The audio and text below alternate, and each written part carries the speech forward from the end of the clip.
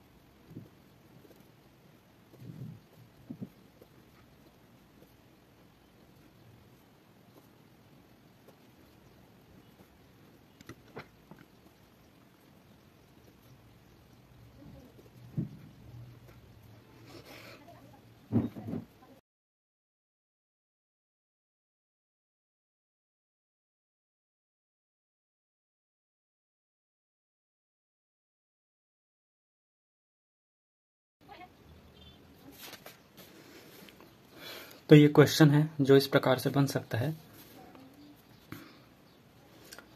आप देखिए इसमें और समझिए और क्या ऐड कर सकते हैं, इसे भी कमेंट में बताएँ। ओके। ये हमारा डेफिनेशन हो गया मूल्य का। कुछ लोगों के अनुसार मूल्य, समय व परिस्थिति के अनुसार बदलते हैं, ये पार्ट हो गया ग तक फिर कुछ मानते हैं कि मूल्य सर्वव्याप्त व शाश्वत है। राइट ये हो गया। फिर ये हमारा छोटा सा निष्कर्ष। तो अगले वीडियो में नए क्वेश्चन के साथ मिलेंगे। अभी के लिए धन्यवाद।